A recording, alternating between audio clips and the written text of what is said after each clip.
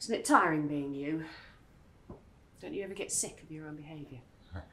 That's rich coming from you of all people. You're so opinionated on the lives of others. You forgot to bother about your own. I couldn't care less how you live your life. Just try to keep your cretinous thoughts to yourself for the next few days, and we might be all right. You mean you'll be all right?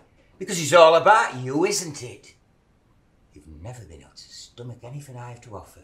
Because what you have to offer is woven with your egotistical nonsense.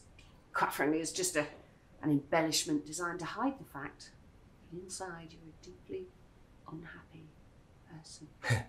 And what would you know about happiness, eh?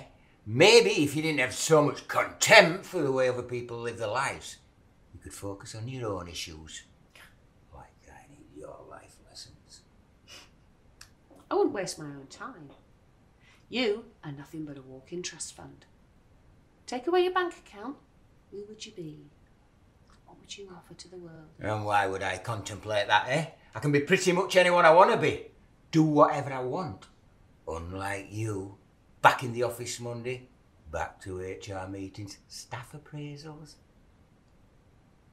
If you want to spend your life messing around, that is fine by me. I just feel sorry for you. I really do. Yeah, well, we have very different ideas of the terms messing around. I'm in Bali next month. Sydney in, was it, September?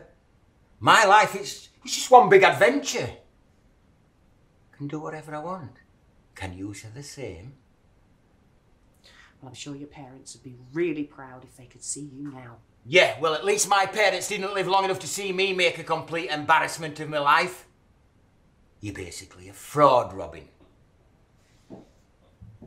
An answer to your question?